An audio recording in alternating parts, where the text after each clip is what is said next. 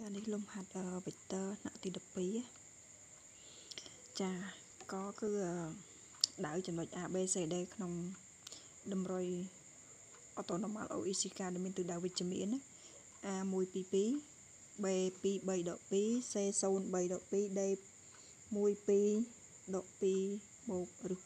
2ចានេះយើងគូមកអញ្ចឹងមកអានេះគេហៅតម្រុយ Autonomous កែង3ណា ចាកែង3អឺ OX កែង OY OY កែង OZ នៅ OX កែងជាមួយនឹង OZ abscissa ordinate code ចាគេហៅតម្រុយ3ណា abscissa ordinate code ឥឡូវ A A នៅកន្លែងណា A មើលតាមហ្នឹងមក A1 A បើយើង1ណា A1 នេះឡើយនេះ ហើយនេះ1 2 3 4នេះចឹងមកចាអឺចុះក្រោមដក1ដក2ដក3អញ្ចឹងទៅមកខាងឆ្វេងដូចគ្នាដក1ដក2ដក3អញ្ចឹងមក1នៅឡើយនេះ x1 y2 អញ្ចឹងមកនេះ2កន្លា ចាកន្លែងហ្នឹងដល់កន្លែងនេះ1 2ចឹងមកតបមកឡើងលើ2តើណា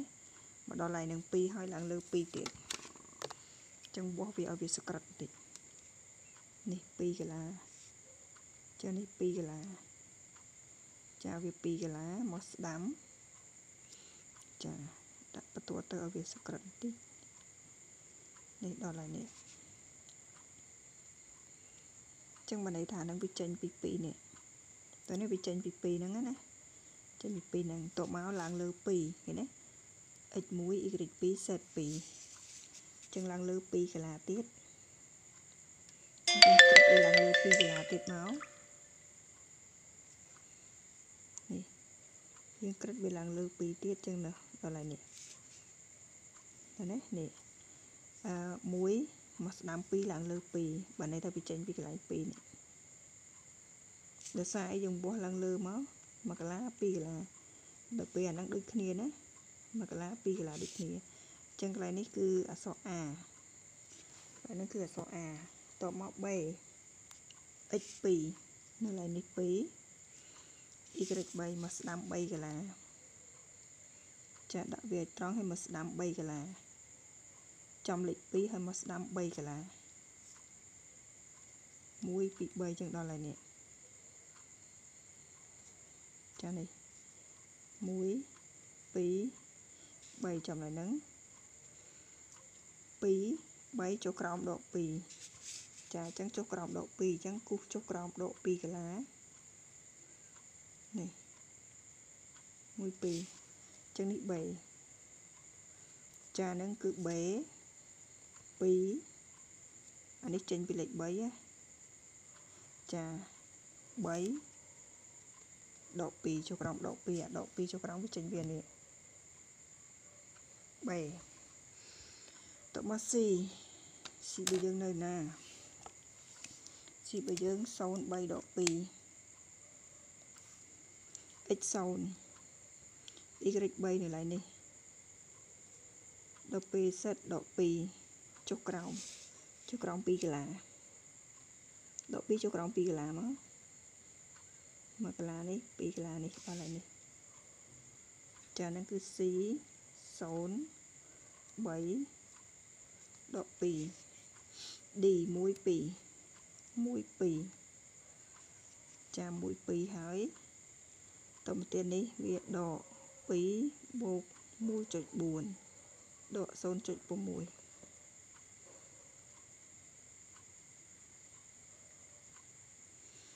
ដក0.6ចឹងចុះក្រោមបន្តិចចុះក្រោមដក0.6ណានេះចុះកន្លះដក0.1នេះឡើយនេះ1 2 1 2ចុះក្រោមបន្តិចមកចាវាដល់ដក0.6ចឹង D វាយើងនៅឡើយនេះ D ចានេះគឺ D កន្លែងនេះគឺអក្សរ D ចា តបមកគេឲ្យយើងភ្ជាប់ A B C D តើណាភ្ជាប់ A B C D ព្រោះអាហ្នឹងវាជាចតុមុខជាចតុមុខ A B C D ណាចា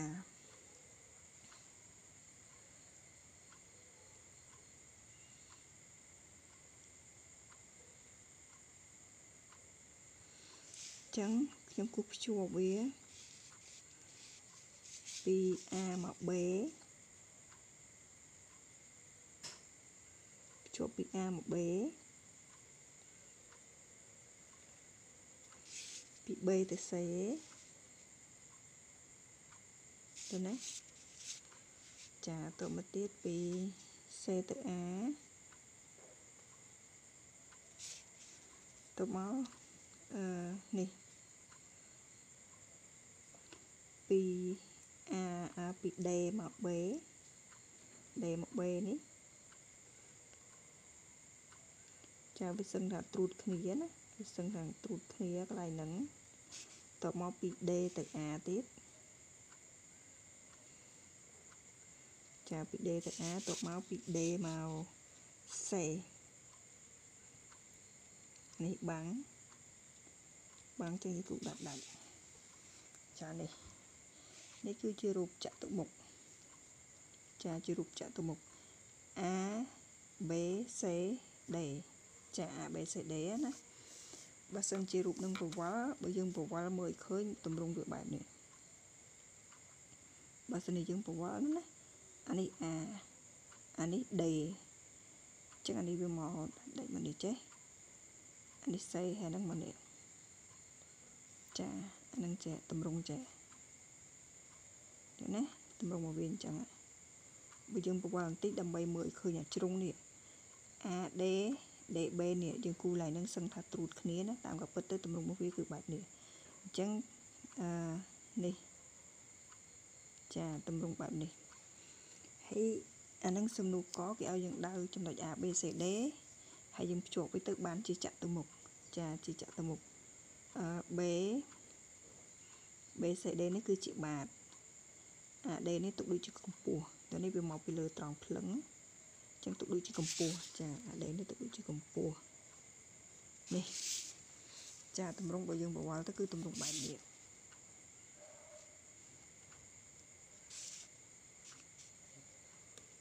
អានេះគាត់នៅគូសក្រៅបញ្ជាក់ពីតម្រង់បន្ថែមណាចាថាតម្រង់ចាក់ទៅមុខនឹងវាយ៉ាងម៉េចចាក់ទៅចាក់ទៅនឹង4ចាក់ទៅមុខចាក់ទៅមុខនឹងបានន័យថាមុខ4ចាចាក់ទៅមុខនោះគឺមុខ4នេះចាគឺតម្រង់បែបហ្នឹង ដល់ពេលអានេះវាដាច់ដាច់ចាពីក្បាំងដល់ពេលក្បាំងគឺគូដាច់ដាច់ចានេះតែយើងមើលនៅក្នុងនេះវាហាក់ដូចជាមិនចឹងតាមក៏ពិតទៅរូបនេះនេះនៅពេលដែលយើងបវល់ណាវាសឹងថាត្រួតគ្នាជាមួយ AD និង DB នេះស្នូក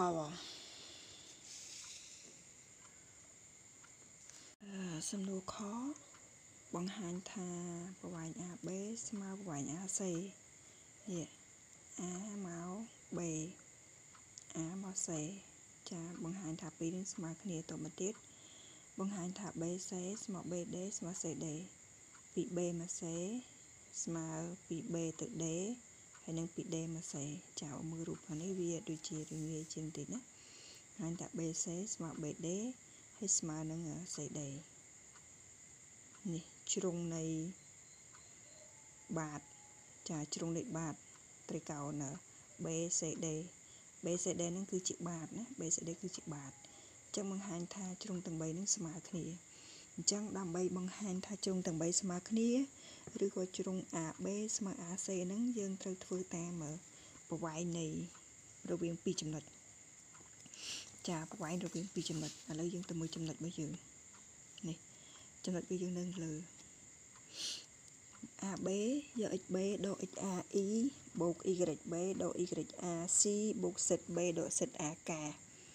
XB 2 2 XA1 E បូកអឺ YB 2 2ដក3 C បូកដក2ចាដក2ទៀតកាអញ្ចឹងយើងទូទាត់លេខនឹងមកស្មើ E អានេះបូក C ដក 4K នេះជាវេគ្ទ័រ AB តោះមកយើងរកប្រវែងណាប្រវែងវេគ្ទ័រ AB ត្រូវស្មើឬមុខ E នេះ1មុខ C នេះ1មុខ K នោះដក4លើកជាការ៉េអញ្ចឹងស្មើ1ការ៉េ1 1ការ៉េ1ទៀតដកលើកជាការ៉េបូក 4ការ៉េ16អញ្ចឹងស្មើឬ18ឯកតាប្រវែងឯកតាប្រវែងតមកទៀតយើងរក AB យើងរក A ខ្សែប្រវែង AC ចាតើប្រវែង AC បើយើងស្មើអីចាប្រវែង AC រកវីក្ទ័រ AC សិន AC គឺយកចុងដកគុល XC ដក XA អូ ការ៉េអឺច្រឡំប្រវែង E សិន YC ដក YAK ZC ដក ZA អានេះ C អូច្រឡំទៅនេះ K XC មួយ XC យើងបានមួយ XC យើងបាន XC របស់យើង0 XA 1 E បូក YC 3ដក YA 2 C តើ E ណា E មានវិតើអានឹង C easy កាយចឹងទៅបូក set C មើល set C របស់យើងណានេះដក2ដក ZA ZA របស់យើង2ទៀត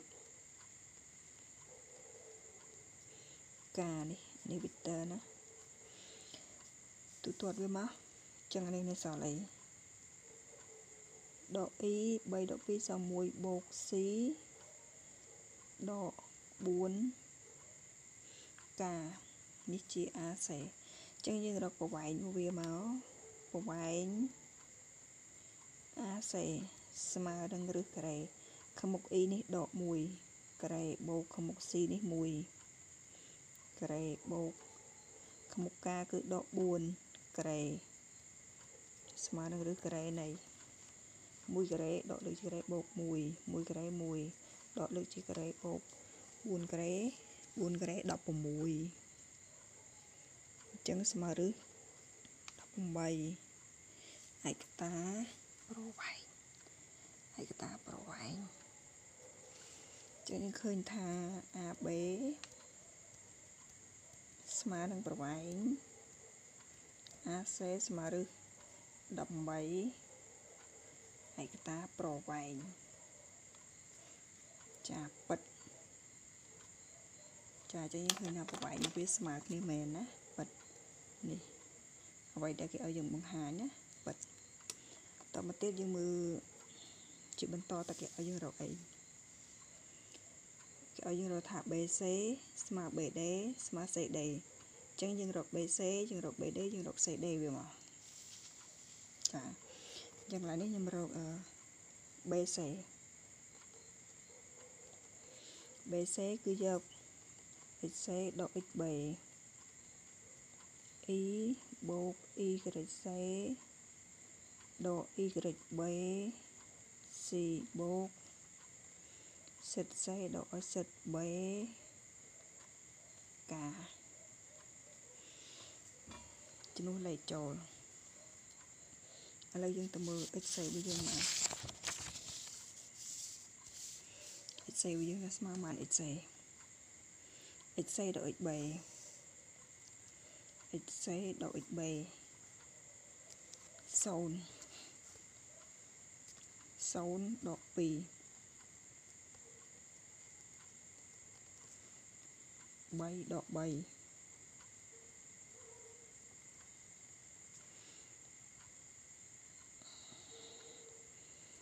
đọt pi đọt đọt bột đọt pi bột pi pi bột pi ca ចឹងអានេះស្មើអីដក 2e បូក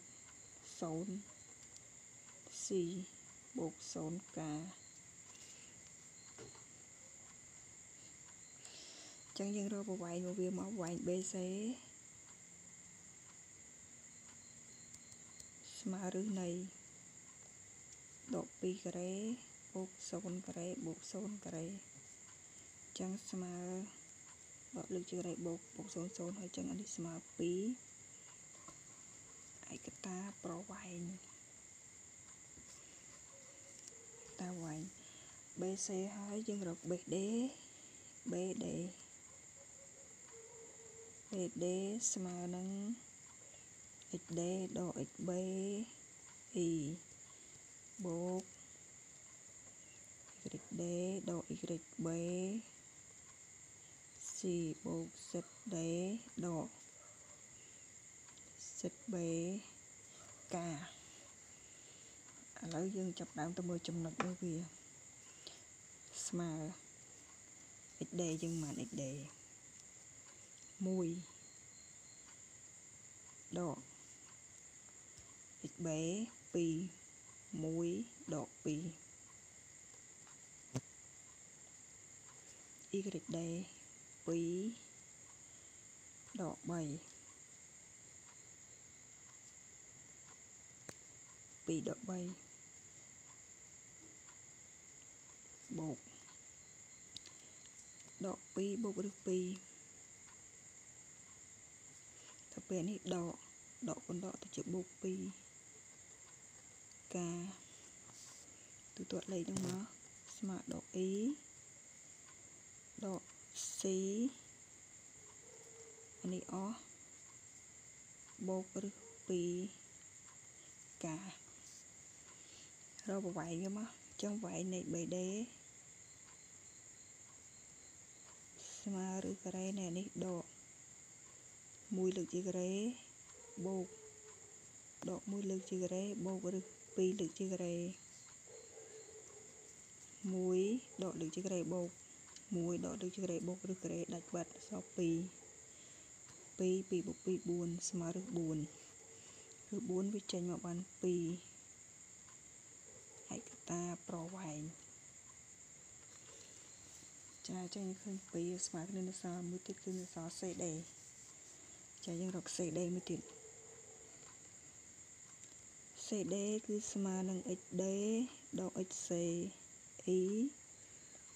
បូក YD ដក YC C បូក ZD ដក ZC កា XD ម៉ាន XD 1 XC 0 C បូក YD បើយើង2 YC បើយើង3 C សេតដេរបស់យើងគឺដក2បូកឬ2សេតសេរបស់យើងគឺដក2ដងដកបូកចឹងអានេះស្មើ e ស្មើ e ដក c ដក2បូក2នេះអស់បូកឬ2កាឬ2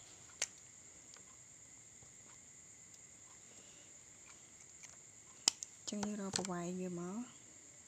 ប្រវែងនៃ CD ស្មើឬក្រែនៃខាងមុខ E 1 ខាងមុខ C គឺដក1ខាងមុខ K គឺរឹស2ស្មើឬនៃ1ដកលើកជាការ៉េ1ឬការ៉េដាច់បាត់អក្សរ2ស្មើឬ4ស្មើ2ឯកតាប្រវែង ចាឯកតាប្រវែងអញ្ចឹងបានន័យថាកន្លែងហ្នឹងប្រវែងវាទាំង3ពិតជាស្មើគ្នាមែនណាឬ2ឬ2អឺឬ2អញ្ចឹងយើងឃើញថាប្រវែងរបស់យើងគឺ BC ស្មើនឹងប្រវែង BD ស្មើនឹងប្រវែង CD ចឹងមានន័យថាបាតរបស់យើងជាត្រីកោណសមាំងណាបាត់ជាត្រកម្មសមាំងស្មើនឹង ឬ4ទាំងអស់គ្នាឬ4ដូចគ្នាទេហើយចេញមកបាន2ឯកតាប្រវែង